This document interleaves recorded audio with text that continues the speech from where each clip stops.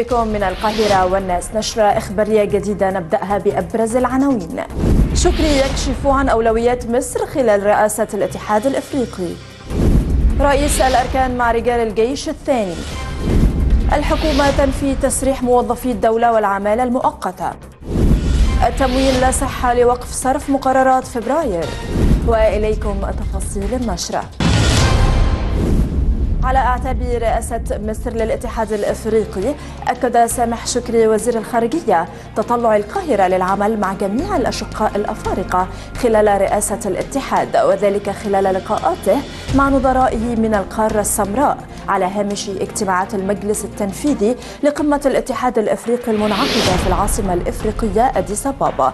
تمهيدا لانعقاد الدورة الثانية والثلاثين للقمة الإفريقية يومي الأحد والاثنين المقبلين.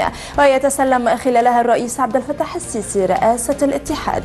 مشيرا إلى أن أولويات الرئاسة المصرية تتضمن التكامل الاقتصادي والإندماج الإقليمي والتنمية الاقتصادية والاجتماعية.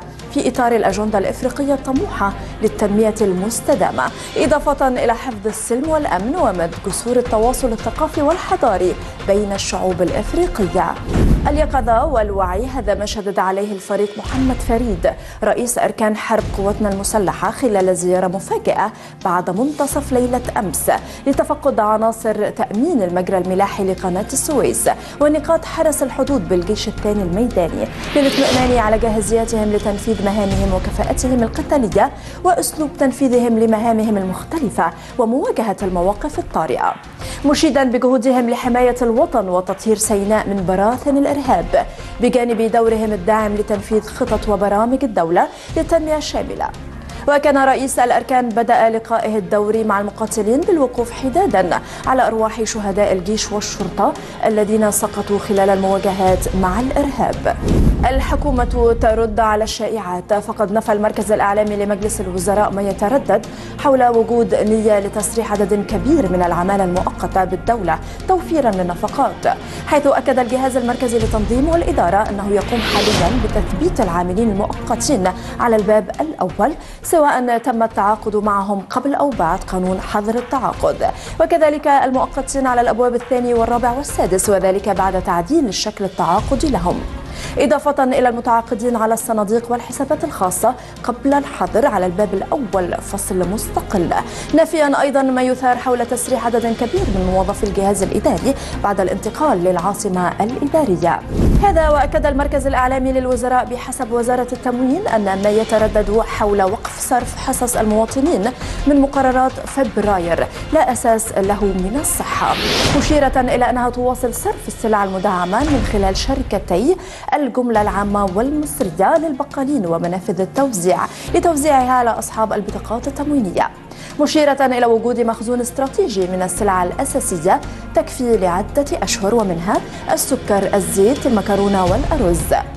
وفي سياق متصل نفت التموين وجود اتجاه لرفع الدعم عن الخبز مقابل الحصول على الشريحة الخامسة من قرض صندوق النقد الدولي. على جانب آخر نفى المركز الإعلامي لمجلس الوزراء ما يثار على بعض المواقع وصفحات التواصل الاجتماعي بشأن إعلان البنك المركزي عن توفير حملة خليها تصدي 12 مليار دولار لخزانة الدولة. خلال 30 يوما حيث أكد البنك عدم إصدار أي بيانات بهذا الشأن مطالبا وسائل الإعلام المختلفة ورواد مواقع التواصل تحري الدقة والموضوعية قبل نشر معلومات لا تستند إلى حقائق وتؤدي إلى التأثير سلبا على الوضع الاقتصادي.